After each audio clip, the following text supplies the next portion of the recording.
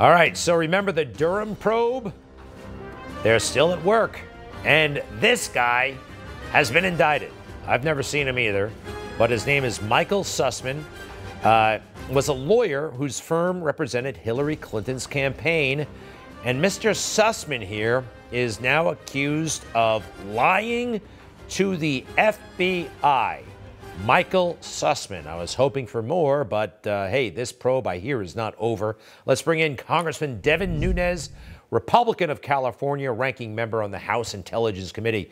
Congressman, welcome back. What do you think of Thanks, this uh, all this time and Michael Sussmann? It, it's a it's a pretty serious indictment. I actually have it right here in my hand, and I've been reading through it. And uh, you got to remember, this is one of the top lawyers for the Clinton campaign. Clearly, he was taking direction from the Clinton campaign.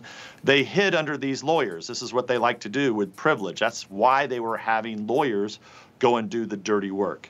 And look, I think what we got to look out for now is Clintons have a long history of their lawyers and agents disappearing. So uh, I think you, you and your viewers know that history.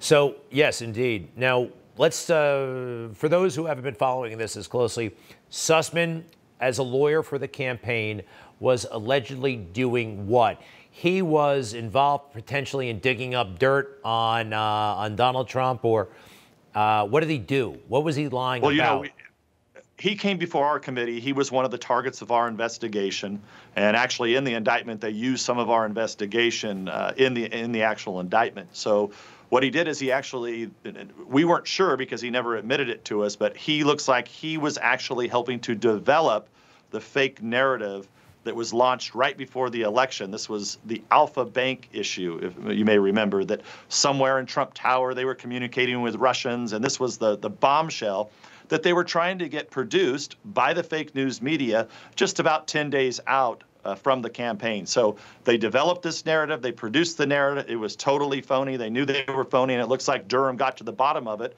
uh, because he has quite. A, I mean, there's a there's a lot of evidence uh, in this indictment. There's a lot of evidence in here. I think it's uh, it's a slam dunk indictment from my uh, perspective. We have a portion of it, uh, the indictment you're holding. Let's put it up on the screen. Um, he was making statements to the FBI. The statement was intentionally false and misleading because, in assembling and conveying these allegations, Sussmann acted on behalf of specific clients, namely a U.S. technology industry executive at a U.S. internet company and the Hillary Clinton presidential campaign. It said earlier right. that he portrayed himself, the, the FBI understood that he was just a good citizen passing along information. That's how he presented himself. All right, but I will tell you, um, for those in the business, you've heard of this guy, you've met him before. You, what about Strzok? What about McCabe? You know, what about uh, these much bigger figures? Um, heck, uh, uh, what's his name, John Brennan from the CIA. Those are the big fish. Are they still yeah. in jeopardy? Well, we, don't know that. You know, all we know were, were, the public statements that were made by the Department of Justice last year, and we were told at the time that they were actually looking at the FBI specifically.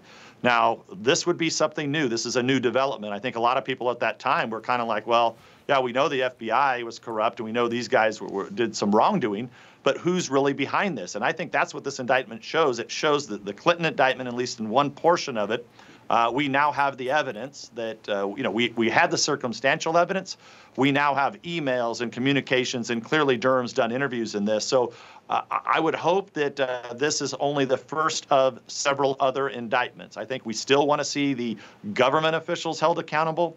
Uh, but look, this is this is right at the Clinton campaign. And at the end of the day, Greg, remember, it's the Clinton campaign who concocted this nonsense. In fact, many of those same people that were involved in, you know, what you could call it the Russiagate, Russia hoax, or the P-tape hoax, they were they are now in the Biden White House. So, uh, you know, look, I think Durham is circling the wagons here. We'll see what happens uh, with this lawyer. I mean, I'd, I'd be surprised if he, if he doesn't plea, uh, make a plea agreement. Maybe he's going to talk. Maybe he won't.